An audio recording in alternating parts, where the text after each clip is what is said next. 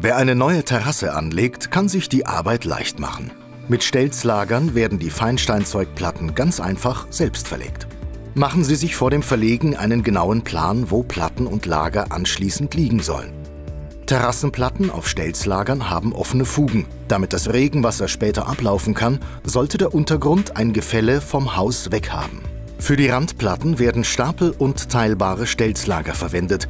Diese lassen sich auf die gewünschte Größe und an die Auflageposition anpassen. Die Stelzlager werden aufgebaut. Durch das Gewindesystem lassen sich die Lager in der Höhe anpassen. Der Schaumabstandshalter dämpft später die Platten. Nun werden die Lager in Position und Höhe ausgerichtet. Gerade bei großen und schweren Plattenformaten kann es sinnvoll sein, Lager nicht nur an den Eckpunkten, sondern auch in der Plattenmitte vorzusehen. Die Lager werden mit Dübeln am Untergrund fixiert. Wenn die Vorarbeit sauber erledigt worden ist, ist das eigentliche Verlegen fast im Handumdrehen geschafft.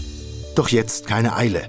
Besonders wichtig ist das genaue Arbeiten bei der ersten Reihe, denn ein Fehler wirkt sich auf jede weitere Reihe aus. Achten Sie darauf, die Höhe der Lager immer wieder einzustellen und zu kontrollieren. Die Abstände zwischen den Platten bzw. zum Rand werden durch die Stege auf den Tellern festgelegt. Alternativ können Sie auch simple Fliesenkreuze verwenden. Die Fugen bleiben dabei offen. So kann Regenwasser abfließen und die Terrassenplatten können jederzeit wieder entfernt werden, um darunter zu fegen oder Leitungen im Hohlraum zu verlegen. Zum Abschluss werden die Übergänge zugeschnitten. Gerade die Platten zwischen Haus und Terrasse werden später stark belastet. Achten Sie darauf, dass sie nicht wackelig oder gar mit einer Stolperkante verlegt werden. Mit einer schmalen Trennscheibe ist das präzise Ausschneiden der Kanten kein Problem. Die letzten Platten können passgenau eingesetzt werden. Geschafft! An dieser Terrasse werden Sie lange Freude haben. Der Zeitbedarf für das eigentliche Verlegen ist bei üblichen Terrassengrößen kaum mehr als ein Tag.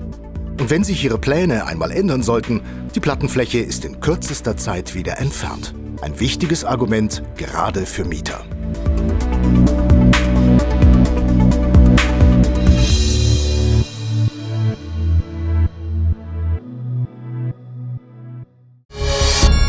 Bauhaus, wenn's gut werden muss.